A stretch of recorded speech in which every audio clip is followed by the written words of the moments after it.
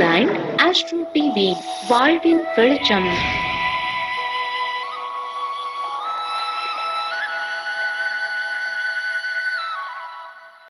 நண்பர்களுக்கு உற்சாகமான வணக்கம். நான் உங்கள் அஸ்ட்ரோ பொற்கொடி அதாவது ஒரு மனிதனுக்கு அடிப்படை தேவைகள் எவ்வளவுக்கு எவ்வளவு நம்மளுக்கு முக்கியமோ அதே அளவுக்கு ஒரு முக்கியமான ஒரு விஷயத்தை பற்றி தான் இந்த வீடியோவில் நம்ம பார்க்க போகிறோம் இந்த வீடியோவை ஸ்கிப் பண்ணாமல் பாருங்கள் அப்போ தான் இந்த வீடியோவில் சொல்லக்கூடிய விஷயங்கள் என்னன்னு புரியும்.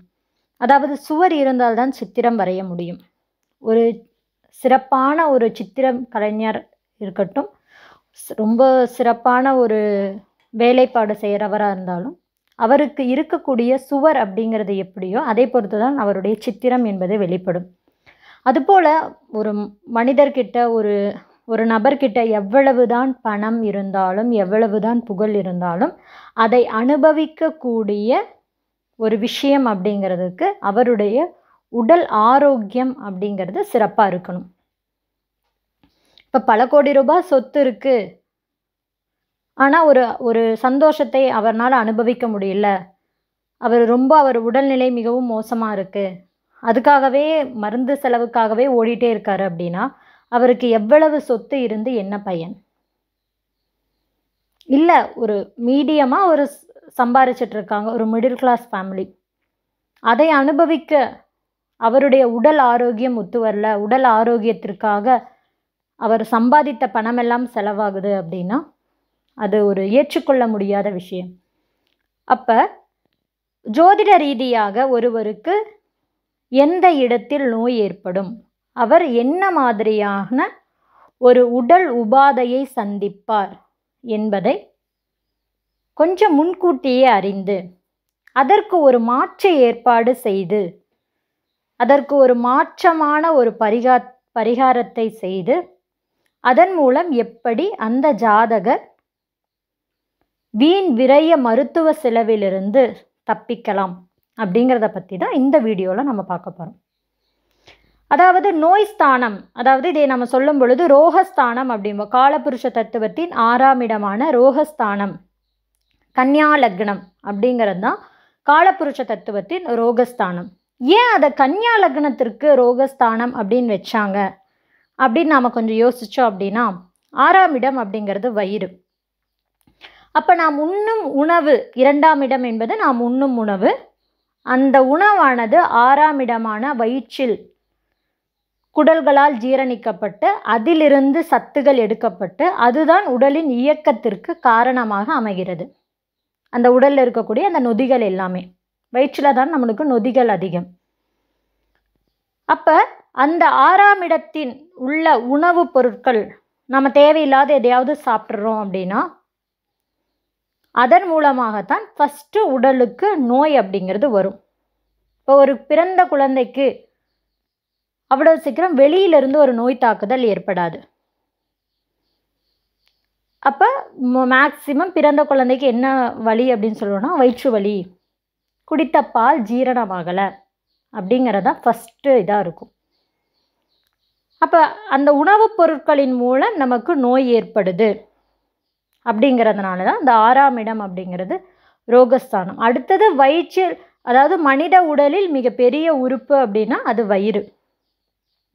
அப்போ அந்த வயிற்றில் உண்ணும் உணவினால் உடல் முழுமைக்கும் ஏற்படும் ஒரு ரோகத்தை சொல்லக்கூடியதாக இருக்கும் பட்சத்தில் அதனை நாம் ரோகஸ்தானம் என்கிறோம். அப்போ எந்த லக்னமாக இருந்தாலும் சரி அந்த லக்னத்திற்கு ஆறாம் இடம் உங்களுக்கு என்ன பாவமாக வருகிறதோ அந்த பாவம் சார்ந்து முதலில் உங்களுக்கு பிரச்சனை ஏற்படும். நோய் தாக்குதல் அல்ல முதலில் பிரச்சனை ஏற்படும். உதாரணமாக மேஷ லக்னத்தில் பிறந்திருக்கீங்க அப்படின்னா அவங்களுக்கு அந்த ஃபுட் டைஜஷன் ஆகிறதுல ஃபஸ்ட்டு ஒரு சின்ன பிரச்சனை இருக்கும். தசாபுத்திக்கு உட்பட்டே அது நோயாக மாற்றம் பெறும். ஏன்னா ஒரு பிரச்சனை வந்தோடனே அது நோய் அப்படிங்கிற நிலையை அடைவதில்லை. இது எல்லாருமே நம்ம லைஃப்பில் பார்க்கக்கூடியதா. ஏன்னா ஒரு காலுன்னு இருந்தால் வலிக்க தான் செய்யும் தலைன்னு இருந்தால் வலிக்க தான் செய்யும்.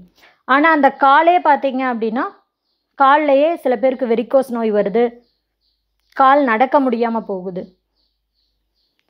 ஒரு சின்ன பிரச்சனை என்பது நோயாக மாற்றம் பெறுவது அவர்களுக்கு நடக்கும் தசையிலும் புத்தியிலுமே. தசாநாதனும் புத்திநாதனுமே அதை தீர்மானிப்பார்.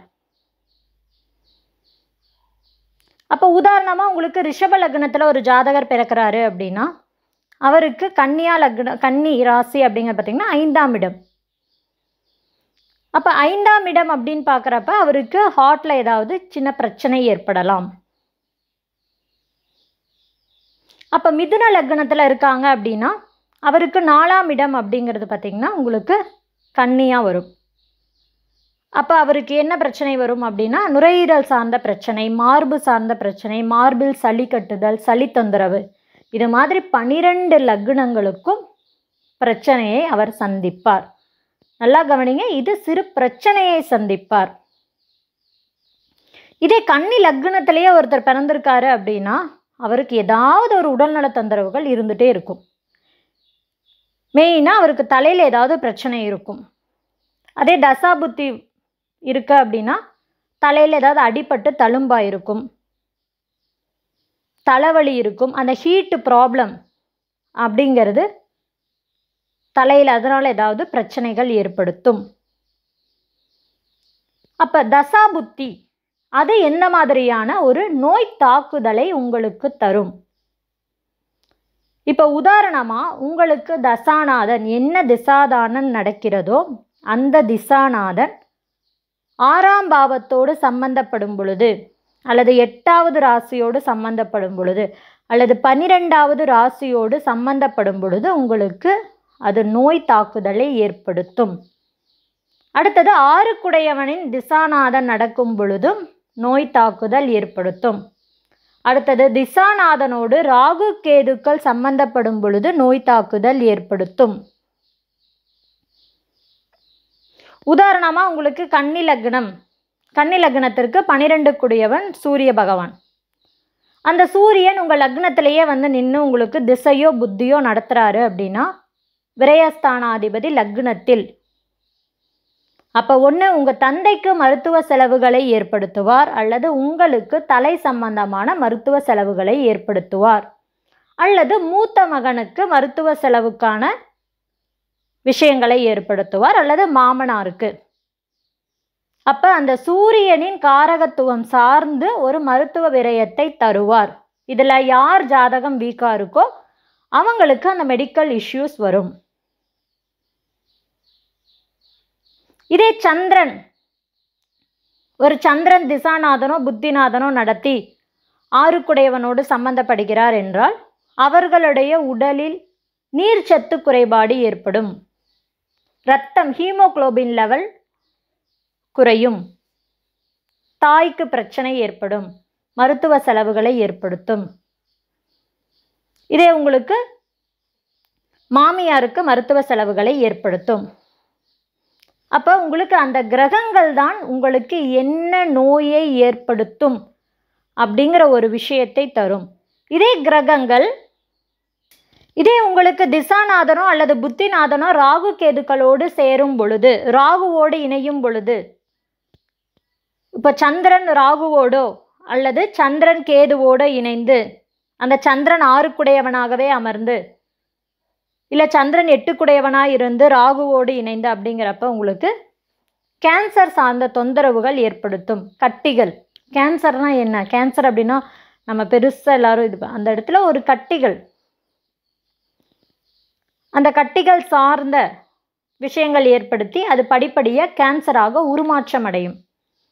கண்ணுக்கு தெரியக்கூடிய கேன்சர் அப்படின்னா உங்களுக்கு ராகு. கண்ணுக்கு தெரியாத கேன்சர் அப்படின்னா கேது.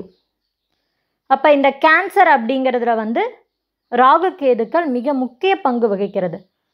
கேன்சர் இதனால தான் உருவாகுது அப்படின்னு சொல்லிட்டு இது வரைக்கும் கண்டுபிடிக்கப்படலை. பொதுவாக சொல்லுவாங்க ஒரு இடத்துல வந்து அபரிவிதமான செல்களின் வளர்ச்சியே கேன்சர் அப்படின்னு சொல்கிறாங்க எனக்கு தெரிஞ்ச அளவுக்கு ஒரு கேன்சருக்கு இருக்கா ஒரு ரீசன் அப்படின்னா அதாவது ரொம்ப நம்ம மாற்று உணவுப் பொருட்களை அதிகமாக சாப்பிடும் பொழுது கேன்சர் வருதுன்னு சொல்கிறாங்க அதிகமாக செயற்கை மருந்து அடித்த உணவுகளை சாப்பிடும் பொழுது கேன்சர் வருதுன்னு சொல்கிறாங்க அந்த இடத்துல எல்லாம் யார் பிரதானமாக நம்ம சொல்கிறோம் செயற்கை மருந்துனா ராகு அபரிவிதமான செல் வளர்ச்சி அப்படின்னா ராகு. அப்போ அந்த ராகுவின் தாக்கம் ஒரு ஜாதகத்தில் அதிகமாக இருக்கும் பொழுது அது கேன்சர் நோயை தோற்றுவிக்கிறது. ராகு அப்படின்னாவே அமானுஷ்யம் கட்டுக்கடங்காத. என்னோட ப்ரீவியஸ் வீடியோவில் நிறைய அதை பற்றி சொல்லியிருக்கேன். அப்போ அந்த தசாநாதனோடும் புத்திநாதனோடும் ராகு ஒரு வகையில் சம்பந்தப்பட்டு அவர் ரெண்டு குடையவனாகவோ அல்லது ஆறு அதாவது ரெண்டாம் இடத்திலோ ஆறாம் இடத்திலோ எட்டாம் இடத்திலோ பன்னிரெண்டாம் இடத்திலோ அமர்ந்திருந்தால் உயிர்காரகத்தை பாதிப்படையச் செய்வார். அப்போ ரெண்டாம் இடத்துல ஒருத்தருக்கு ராகு இருக்கு அப்படின்னா அவர் ஒரு உணவை சாப்பிடுவதன் மூலமாக அவருக்கு வயிற்றில் போய் அது பிரச்சனையை ஏற்படுத்தும். அப்போ ஆறாம் இடம் வயிறு. யாருக்கெல்லாம் ஆறாம் இடத்தில் ராகு இருக்கோ அவர் அபரிவிதமாக உணவு சாப்பிட்டுட்டே இருப்பார். அதுவும் அந்த தசாபுத்தி காலத்தில் ஆறாம் இடத்துல ராகு இருந்துட்டார் அப்படின்னா அவர் சாப்பிட்ற உணவு எங்கே போகுதுன்னே தெரியாது. அந்த அளவுக்கு அவர் அதிகமாக சாப்பிட்டுட்டே இருப்பார். அப்போ இந்த ஒரு விஷயம் அவருக்கு கேன்சர் அறிகுறிகளை ஏற்படுத்தும். அதாவது திசாநாதனோ புத்திநாதனோ ராகு கேதுக்களோடு சம்பந்தப்பட்டாலோ அல்லது ராகு திசையோ ராகு புத்தியோ கேது திசையோ கேது புத்தியோ. நடந்தால் அவருக்கு இந்த கேன்சர் தொந்தரவு ஏற்படும். இதே சனி பகவானுடைய திசா புத்தி காலத்தில் சனி பகவான் எந்த இடத்தில் இருக்கிறாரோ மேக்சிமம் ஒருவருக்கு சனி திசை அப்படின்னாவே அவருக்கு உடலில் இருக்கக்கூடிய ஸ்கின்ல ஏதாவது ப்ராப்ளம் கண்டிப்பாக வந்துடும் தோல் தோல் பிரச்சனை. இதே சனி சூரியனோட நட்சத்திரத்தில் இருக்காரு அப்படின்னா பயங்கரமாக முடி கொட்ட ஆரம்பித்து தலையில் ஏதாவது பிரச்சனை வந்துடும் இந்த பூச்சி வெட்டுன்னு சொல்லக்கூடிய அமைப்பு இல்லை உட உடல் தோலில் பார்த்தீங்கன்னா சிலந்தி அப்படின்னு சொல்லுவாங்க. ஒரு மாதிரி திட்டு திட்டா திட்டு திட்டா வரக்கூடிய அமைப்பு. இல்லைன்னா கால்களில் ஏதாவது பிரச்சனை. ஆனால் சனி சூரியனோட நட்சத்திரத்தில் அப்படின்னா தலையில் கண்டிப்பாக ஏதாவது ஒரு பிரச்சனையை ஏற்படுத்துவார். அப்போ ஒரு ஒரு கிரகங்களும் அந்த தசா புத்திக்கேற்றவாறு பிரச்சனையை தரும் அப்படிங்கிறது உண்மை. சரி பிரச்சனையே நம்ம ஃபுல்லாக சொல்லிட்டோம். ஒரு ஒரு கிரகத்திற்கும். இப்போ புதன் அப்படின்னா நரம்புகளுக்கு காரகன். இப்போ உங்களுக்கு புதன் திசையோ புதன் புத்தியோ நடக்குது அப்படின்னா ஷோல்டர் பெயின் தோள்பட்டை கைகள். இதே புதன் கேதுவோட நட்சத்திரத்தில் இன்னும் முக்கியமான விஷயம் இந்த ராகு கேதுக்களால் ஏற்படக்கூடிய நோயை அவ்வளவு எளிதில் யாராலும் கண்டடி கண்டறிய முடியாது. எத்தனை எம்ஆர்ஐ ஸ்கேன் எடுத்துக்கலாம் எத்தனை சிடி ஸ்கேன் எடுத்துக்கலாம்? அவ்வளவு எளிதில் அந்த ராகு கேதுக்களால் உண்டாகும் நோயை கண்டறிய முடியாது. இப்போ உதாரணத்துக்கு இப்போ இருக்கக்கூடிய கொரோனா வைரஸ் அப்படிங்கிறது ராகு கேதுக்கள் கொரோனா வைரஸ் இருக்குன்னு ஐடென்டிஃபிகேஷன் பண்ணுவோம். அவங்க நார்மலாக சேஃபர் ஜோனில் இருப்பாங்க. இவருக்கு கொரோனா வைரஸ் இல்லைன்னு சொல்லிடுவோம். அவர் தான் பார்த்தீங்கன்னா டெத் ஆவார். அப்போ யாராலும் கண்டறிய முடியாத ஒரு விஷயம் அப்படிங்கிறது ராகு கேது. அப்போ உங்கள் ஜாதகத்தில் ராகு கேதுவின் மீது ஒரு கிரகம் நின்று நட் திசாநாதனும் புத்திநாதனும் நடக்குது அப்படின்னா உங்களுடைய உடம்பில் என்ன வியாதி அப்படிங்கிறத அவ்வளவு எளிதாக போய் ஒரு டாக்டர்கிட்ட ஒரு ஸ்கேன் எக்ஸ்ரே எடுத்து கண்டறிய முடியாது. இதுதான் ராகு கேதுக்களின் பலம். அடுத்தது செவ்வாய் எலும்பு மஜ்ஜை எலும்பு மூட்டு சதை கிழிந்து ரத்தம் வருதல். சில பேர்த்துக்கு பாருங்கள் அடிக்கடி பிளட்டு லாஸ் ஆகிட்டே இருக்கும். இப்போ அவங்களுக்கு செவ்வாய் புத்தியோ செவ்வாய் திசையோ அல்லது செவ்வாயின் நட்சத்திரத்தில் ஒரு கிரகம் நின்று திசை புத்தியோ நடத்தினாள் திசாநாதனை விட புத்திநாதன் வலிமையானது. புத்திநாதனை விட நின்ற நட்சத்திரத்தின் செயல்பாடு இங்கு வலிமையானது. அப்ப இந்த மாதிரியான பிரச்சனைகளை எல்லாம் அந்த ஜாதகர் சந்திப்பார். செவ்வாயுடைய நட்சத்திரத்துல ஒருத்தருக்கு கிரகம் நின்று தசை நடத்தினா அந்த அந்த நேரத்தில் அவருக்கு பிளட் லாஸ் ஆகும் அப்படிங்கிறது விதி. அப்போ இதுக்கெல்லாம் நம்ம என்ன மாற்று வழிபாடு பண்ணலாம்? மாற்று வழிமுறையை பண்ணலாம். இப்போ ஒன்பது கிரகங்களும் மனிதருக்கு இப்படிப்பட்ட நோய்களை தான் தரும். குரு அப்படின்னு பார்த்தீங்கன்னா வயிற்றில் பிரச்சனையை ஏற்படுத்தும் கொழுப்பு கட்டிகளை ஏற்படுத்தும் அதிகமாக குண்டாவாங்க. இப்போ குரு திசை யாருக்காவது நடக்குது அப்படின்னா அந்த குரு திசையானவர் அவர்களோட உடலை வந்து ரொம்ப வளர்த்துட்டே போகும். இப்போ உதாரணமாக பார்த்தீங்கன்னா இப்போ ஒரு பேங்க் ஆஃபீஸர்ஸ் ஒரு டீச்சர்ஸ் எல்லாம் பார்த்தீங்கன்னா அந்த குருவினோட ஆதிக்கம் நிறைந்தவர்கள். அவங்கெல்லாம் பாருங்கள் கொஞ்சம் உடம்பு பூசின மாதிரி இருப்பாங்க. டீச்சிங் ஃபீல்டில் இருக்கிறவங்க. ஒரு விஷயத்தை கற்றுக் கொடுப்பவர்கள் அனைவரும் குருவே. அப்போ அந்த குரு அப்படிங்கிறது. அடுத்தது குரு பாதிக்கப்பட்டுருச்சு. ஒருவருடைய ஜாதகத்தில் குரு பாதிக்கப்பட்டு ராகு கேதுவின் நட்சத்திரத்தில் அமர்ந்திருந்தால் அவர் அவருக்கு மஞ்சக்காமாலை பிரச்சனையை அவர் சந்தித்திருப்பார். கல்லீரல் ஈரலுக்கு அதிபதி குரு பகவான். மஞ்சக்காமாலை வந்துச்சு அப்படின்னா அவருக்கு பாதிக்கப்படுறது அந்த கல்லீரல். அப்போ அந்த குரு பகவான் இப்படிப்பட்ட பிரச்சனைகளை ஜாதகருக்கு தருவார் வயிற்றில் பிரச்சனையை ஏற்படுத்துவார். குருவினுடைய வீட்டில் ஒரு கிரகம் நின்று திசாபுத்தி நடத்தினாலும் இது பொருந்தும். சரி இதுதான் ஒன்பது கிரகங்களும் ஜாதகருக்கு கொடுக்கக்கூடிய நோய்கள். சூரியன் சந்திரன் செவ்வாய் ராகு குரு சனி புதன் கேது சுக்ரன் அப்போ சுக்ரன் பார்த்தீங்க அப்படின்னா உங்களுக்கு ஹார்மோன் ப்ராப்ளத்தை கொடுப்பார். சுக்கிரனுடைய நட்சத்திரத்தில் ஒரு கிரகம் நின்று திசை நடத்தினாலோ அல்லது சுக்கிர திசையோ சுக்கர புத்தியோ வந்தது அப்படின்னா உங்களுக்கு சுகர் சீக்கிரமாக வந்துடும் ஏன்னா அந்த சுக்கிர திசை உங்களுக்கு அபரிவிதமான ஒரு சுகத்தை கொடுத்து வேலையே செய்ய மாட்டாருங்க. சுக்கிர திசை வந்துட்டா அப்புறம் சுக்கரன் வேலை செய்யாமல் இருந்தால் உங்களுக்கு சுகர் கம்ப்ளைண்ட் வந்துடும் இதே உங்களுக்கு கேது அப்படின்னு பார்த்தீங்கன்னா ஜீரண உறுப்பில் பிரச்சனையை தந்து விடுவார். மூலம் ஃபிஸ்டுலா ஃபைல்ஸ் இதெல்லாம் கேது பாதிக்கப்பட்டவர்களுக்கு தான் ஏற்படும். இந்த கேதுவினால் வரக்கூடிய நோய்களுக்கும் தீர்வு இல்லை. ராகு கேதுவினால் ஒரு பிரச்சனையை உங்கள் உடல் சந்தித்து விட்டது எனில் அதற்கு ஒரு இறை வழிபாடு செய்துவிட்டு அதற்குரிய மருத்துவ மருத்துவத்தை நீங்கள் தேர்ந்தெடுத்தால் மட்டுமே அந்த மருத்துவத்தில் வெற்றி. இல்லைன்னா அதை வெற்றியாகவே இருக்க முடியாது. அதில் எவ்வளோ காசு வேணால் விரயமாயிடும். அப்போ இதுதான் ஒன்பது கிரகங்களும் மனிதனுக்கு தரும் நோய்கள். அப்போ இதுக்கு தீர்வுன்னு ஒன்று இருக்கும் இல்லையா? அப்போ எல்லா நோய்க்கும் நம்ம டாக்டர் கிட்ட போகிறோம் எல்லாருக்கும் சரியாயிடுதா? சரி வர்றதுக்கு முன்னாடி அதை சில ப்ரிவெண்ட் பண்ணும் இல்லையா? எப்படி பண்ணலாம்? ஒன்றும் இல்லைங்க. உங்களுடைய ஜாதகத்தை பார்க்குறீங்க. இந்த நோய் வரப்போகுது. நோய் அப்படிங்கிறது எப்போ வரும் அப்படின்னா அந்த தசாபுத்தி காலத்தில் கோல்சார ராகு கேதுக்களின் தாக்கம் அதிகமாக ஏற்படும் பொழுதே நோயை ஜாதகருக்கு தருவார். இல்லைன்னா ராகு திசை கேது புத்தியில் தான் அந்த நோயை தருவார்.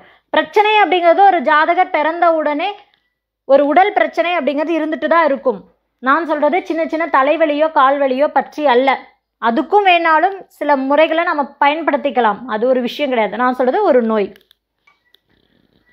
இப்போ உதாரணமாக கன்னி லக்னத்துக்கு எடுத்துக்கோங்க. இப்போ கன்னி லக்னத்திற்கு மூன்றாம் இடம் அப்படிங்கிறதுல கேது போயிட்டுருக்கார். இப்போ அடுத்த ராகு கேது பயிற்சி வரப்போகுது. ஒரு கன்னி லக்ன ஜாதகராக நீங்கள் இருக்கீங்க அப்படின்னா இப்போ மூணாம் இடத்துல கேது போகிறாரு அப்படின்னா ஒரு உடல்நிலை சார்ந்த ஒரு தொந்தரவு அப்படின்னா என்ன கொடுப்பார்? ஒரு ஷோல்டர் பெயின் அதிகமாக கொடுப்பார். அடுத்தது இப்போ உங்களுக்கு வந்து பார்த்திங்கன்னா அடுத்தது ரிவர்ஸில் இப்படி நகரும் பொழுது அவர் வந்து சுக்கரன் வீட்டுக்கு வந்துடுவார் கன்னி லக்னத்திற்கு இரண்டாம் வீடு. அப்போ இரண்டாம் இடம் அப்படிங்கிறது கண்ணு. அப்போ அடுத்த ராகு கேது பயிற்சிக்கு கன்னியா லக்னத்தில் இருப்பவர்களுக்கு ஒரு கண் பிரச்சனை வரும். இல்லைன்னா வ- முகத்தில் ஏதாவது பிரச்சனை இல்லைன்னா பல் பிரச்சனை ஏதாவது வரும். அப்போ நாம் இதுக்கு முன்னாடியே என்ன பண்ணிக்கணும்? அந்த ஒரு நோய் தாக்குதல் ஏற்பட்டவருக்கு நம்மால் ஆன மருத்துவ உதவியை செய்ய வேண்டும். அல்லது அந்த நோய் சம்பந்தமான ஒரு ப்ரீவியஸ் ஹெல்த் செக்கப் அப்படிங்கிறத நாம் பண்ணிடணும். உங்களுடைய ஜாதகம் ஒரு புண்ணியம் பெற்ற ஜாதகமாக இருந்தால் அந்த நோய் சம்பந்தமான நபரே உங்களிடம் அது சார்ந்த உதவியை கேட்பார். அதையே நீங்கள் மறுக்காமல் செஞ்சு கொடுங்க. அப்போ உங்களுக்கு வந்து ஒரு ஆறாம் இடத்துல நின்று ராகுவோ கேதுவோ ராகு நடத்த போகிறார் ஆறாம் இடத்துலேருந்து ராகு புத்தி வரப்போகுது.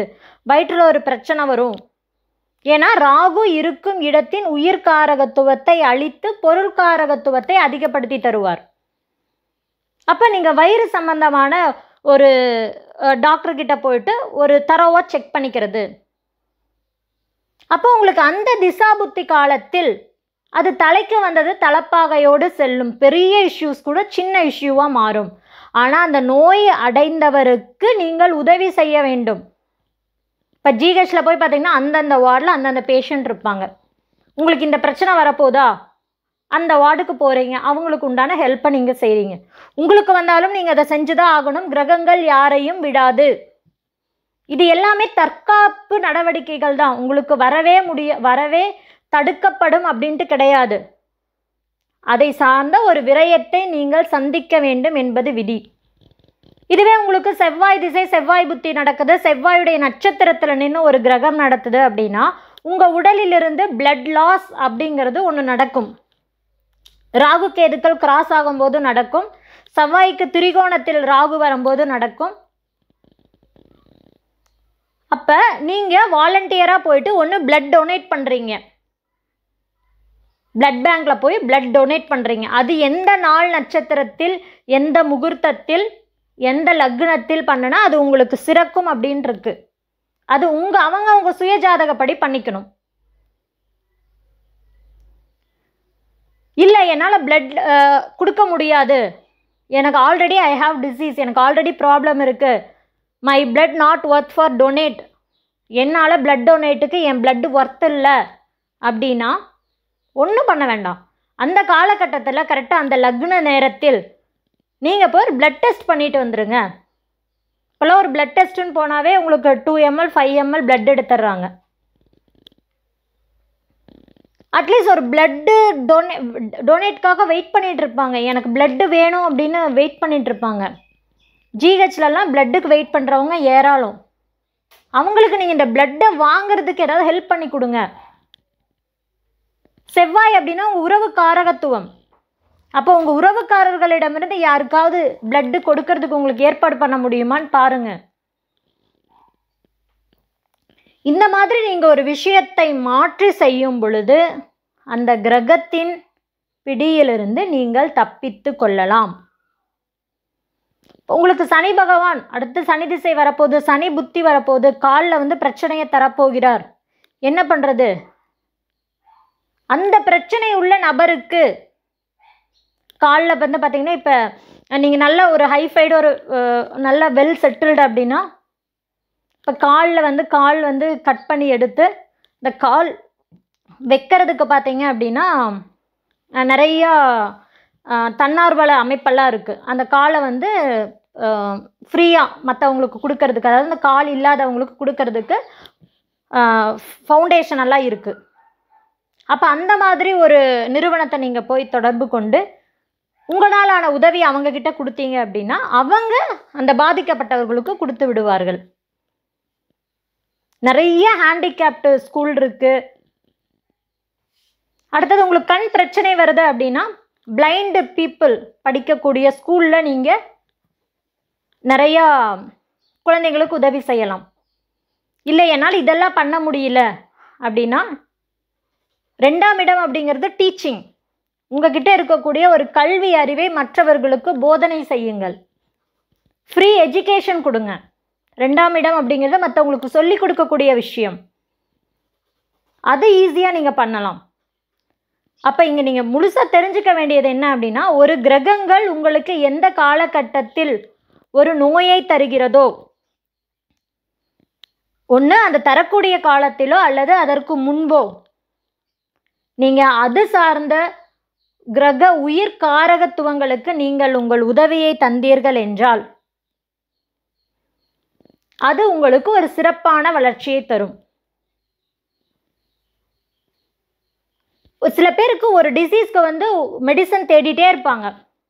ஒன்றும் இல்லை ஒரு யூ ஒரு சிறுநீரக ப்ராப்ளம் ஆயிடுச்சு எப்படி ரெடி பண்ணுறது என்ன டயாலிசிஸ்க்கு சொல் சொல்லிட்டாங்க அதுக்கு ஒரு நல்ல டாக்டர் கிடைக்கல எப்படி பண்ணுறதுன்னு தெரியல அப்படின்ட்டு இருப்பாங்க. ஒரு கண்ணை கட்டி காட்டில் விட்ட மாதிரி ஒரு சொல்யூஷனே கிடைக்காம இருப்பாங்க. ஒன்றும் பண்ண வேணாம். நீங்கள் போயிட்டு ஒரு இந்த மாதிரி ஒரு ப்ராப்ளம் இருக்கக்கூடிய ஒருத்தருக்கு நீங்கள் ஹெல்ப் பண்ணிட்டு வாங்க. உங்களுக்கு உண்டான மெடிசன் என்ன? உங்களுக்கு உண்டான டாக்டர் யார்? நீங்கள் எங்கே போய் ட்ரீட்மெண்ட் எடுக்கணும் அப்படிங்கிறத உங்களுக்கு காட்டி கொடுக்கும். பரிகாரம் அப்படிங்கிறது இதுதான். நீங்கள் எந்த இடத்தில் வழிதறியாமல் முழித்து கொண்டிருக்கிறீர்களோ அந்த இடத்தில் நீங்கள் செய்யும் பரிகாரத்தின் பலன் ஒரு விளக்காக உங்களை வழிநடத்தும். அப்போ உங்களுக்கு என்ன டிசீஸ் வரப்போகுது? நீங்கள் மற்றவங்களுக்கு என்ன ஹெல்ப் பண்ணுறீங்க அப்படிங்கிறது தான் உங்களுடைய ஜாதகத்தின் தீர்மானிக்கும். அப்போ அவர்கள் அவர்களுடைய சுய ஜாதகத்தில் என்ன திசா புத்தி நடைபெற்று கொண்டுள்ளதோ அதுக்கேற்றவாறு நீங்கள் செய்யக்கூடிய வழிமுறை உங்களை காப்பாற்றும். இதே மாதிரி அடுத்தடுத்த வீடியோஸில் சந்திக்கிறேன். நன்றி வணக்கம். வாழ்த்துக்கள் நண்பர்களே.